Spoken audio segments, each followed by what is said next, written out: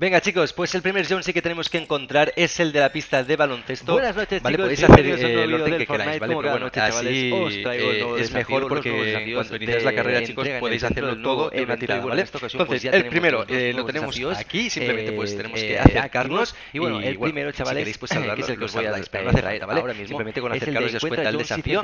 Luego chicos, este es el más difícil, el de los tejados, ¿vale? Fijaros bien Sí, porque eh, después de la pista de baloncesto, esto, ¿vale? Seguís esta ¿de bajada y Eh, justo así antes de bueno, llegar en las gastronetas, la furgoneta del tomate y de la hamburguesa, chicos, de en el edificio este que hay aquí, ¿vale? Pues se encuentra el Jonesy de los tejados. Pues yo, chicos, he optado por coger la buggy, chicos, y de bueno, pues un salto hacia ahí. También podéis de ir haciendo parkour, bajando, de deslizando, pero es bastante difícil llegar hasta aquí, ¿vale? Pues nada, chicos, utilizar las buggies y aquí se encuentra el tiempo de los tejados. Es muy difícil este, chicos.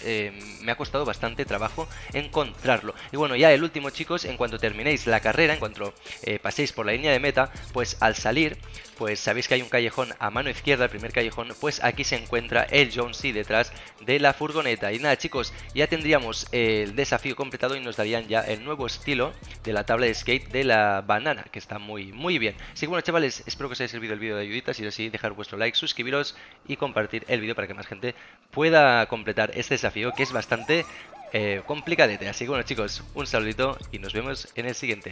Chao.